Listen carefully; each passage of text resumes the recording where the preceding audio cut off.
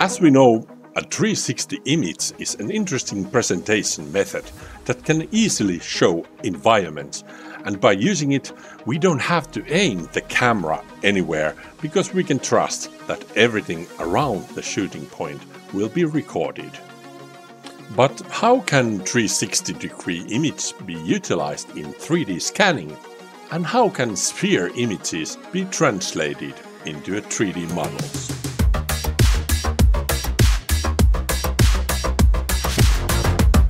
Hello boys and girls, it's Olli here again. About a year ago I started researching the possibilities of 360 cameras and I did a lot of different experiments on how to use the material in 3D modeling. I still believe that 360 degree image can be an effective way to collect the required number of images with one shot, which can be used as a data set for photogrammetry or on these new radiance field methods such as Gaussian splatting. Although it is possible to scan individual objects, the 360 camera is best suited for scanning environments and, for example, realizing interior models using these large images is the most useful. However, the biggest challenge is the basic format in which 360 degree images are created by default. Such basic dual lens 360 cameras often produce so-called equirectangular images, which are wide-angle images fused together in a 2 by 1 ratio that includes the wide angles seen by both lenses. These images have strong fisheye lens distortions with a lot stretched information at the top and the bottom edges of the image that can only be seen when the image is wrapped around 3D sphere. And in this form, the equirectangular image is used a lot in 3D production as a background image or in HDR format. It can be also used for lighting or making reflections over 3D surfaces. But it is still only a 2D image, which as such is not very usable for building 3D models. Since in photogrammetry method the aim is to form a three-dimensional point cloud from the series of images, the images must be flat and have clear perspective lines. Pictures with strong lens distortions are difficult for the computer vision algorithm to calculate and very few programs are able to produce a 3D point cloud from 2D images with curved perspective lines, like these. Therefore, the 360 degree image should always be processed and broken down into parts where lens distortion can be eliminated.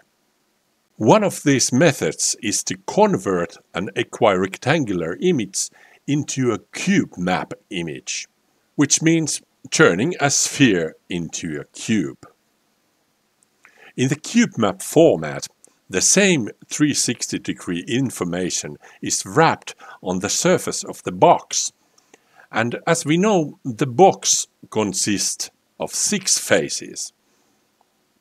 When we look at the, each of these individual square faces, we noticed that the perspective lines are now straight and the lens distortion has disappeared. So these square images are much more suitable for making a 3D point cloud. But before that we need to look at which of the faces of the cube are actually usable. Depending on what kind of a space we are scanning, it is important how we manage to position ourselves in relation to the 360 camera. If we scan such an interior where the ceiling is low, it is difficult for us to position ourselves under the camera. For example, the bottom and back images can often be completely left out the conversion in these cases because I myself can be seen in the image and cover a large part of the important image information. The top view angle is also mostly useless because it often goes too close to the ceiling surface and cannot produce a significant value for point cloud calculation. So that leaves us only three angles, front, left and right. Of these, left and right are the most useful and important images because they represent the central part of the 360 camera lenses. The front angle can also be useful, but it is worth remembering that this angle contains a stitching seam line that becomes visible the closer we get to the walls. The seam line is the line that forms between lenses when the images from the 360 camera are combined. It is also the right place where you should position yourself when using the 360 camera for 3D scanning. And with this in mind, you should also avoid unnecessarily rotating the camera around its own axis during the scanning. When the stitched seam line moves in the image, it can easily ruin and make the scanning material unusable.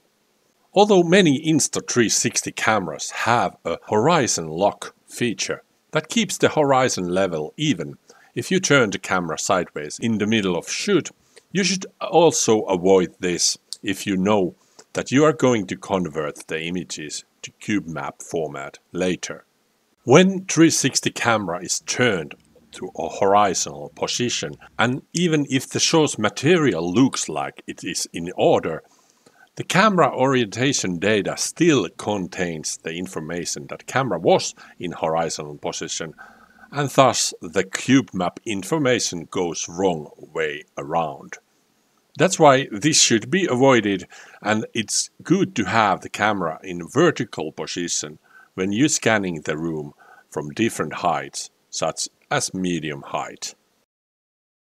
If you want to use the selfie stick and keep the camera in its vertical position, you can for example get a special gauge gear like this around the camera.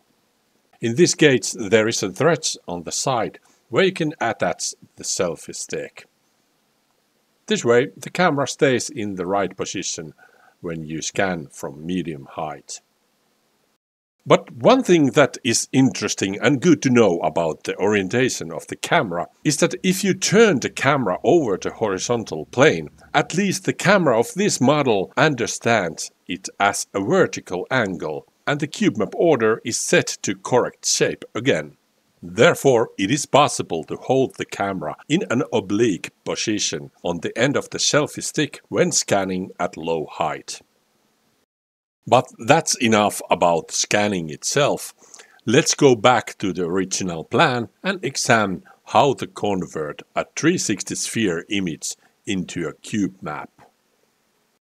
As you might guess, there are some services or application on the internet related to this topic. You can find some codes on GitHub to try the conversion and some photogrammetry programs such as Meshroom contain a separate command line functions that separates CubeMap squares from 360 images.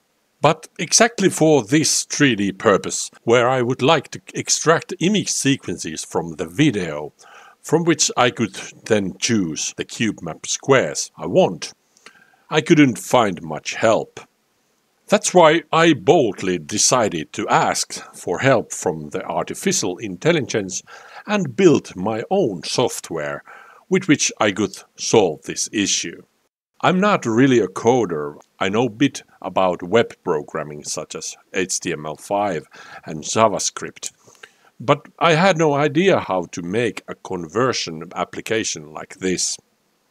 But since I had a clear vision of what the program should be like, I set out to build my own converter with the help of ChatGPT. And I was amazed how I managed to create a small Windows desktop application by using C-sharp programming language and WPF, which means Windows Presentation Foundation, that works as a user interface for the program. It is far from perfect, but this version does what I want, so let's see how it works. First, you must make sure that you have 360 image material in equirectangular format. You can input single images or MP4 videos, and it's done simply by dragging the files into this field. In this case, I drag this equirectangular video into my converter. Since it is a video, I can type the interval setting at which the image sequences are extracted from the source file. The default is 30 frames, which in this case means that every second a picture is taken from the video. After that, the process is very simple. We just have to select the output folder where we want to save the cube map images. As an option, I can also adjust which images from the cube map I want to save. If this setting is turned off, all six faces of the cube are separated and saved. But if I turn this on, only the most central and most usable left and right angles are saved. In addition to these, I can also decide if I want to keep the full equirectangular images separated from the video if this is turned off, at the end the process will remove the folder where the frames of the intermediate stage were saved. Then we just press the Convert button. The program starts extracting frames from the video every 30 frames and saves them in the separate Video Frames folder. This will take some time. When the full equirectangular images have been extracted from the video, the process starts separating the cube map squares, and they are saved in the output directory you chose before the conversion. And that's about it. After the process is done, you have a series of CubeMap images in JPEG format, which you can now use in the calculation of a 3D model such as in the Postshot or in reality capture program. Of course, it is good idea to check and scroll through the images and possibly remove those dark and bad images that are not useful in the calculation. Although CubeMap may not perfectly solve all the necessary angles, it is nevertheless a good basic function for editing 360 images. In order to be able to produce a versatile image dataset in addition to the CubeMap images, I recommend looking through the material in the Insta360 Studio program. There you can easily separate additional images to support the cube map images and collect such angles that the details were not visible in the cube map format. In the Insta360 Studio, you have the opportunity to produce similar one by one square images as the cube map images are. When the images are in the same format, photogrammetry and Gaussian splatting programs have better chance to produce a 3D point cloud. If you want to try this converter I programmed, I will put the download link in the description it is very early in development and may still contain a lot of bugs, but at least it can be tested for converting 360 images. If you have experience or know some other good ways to convert CubeMap images, please leave a comment below. I hope this video was interesting and opened up the possibilities of 360 images a bit. Hit the like button and subscribe to my channel I will continue to scan the 360 degree images. Thanks for watching.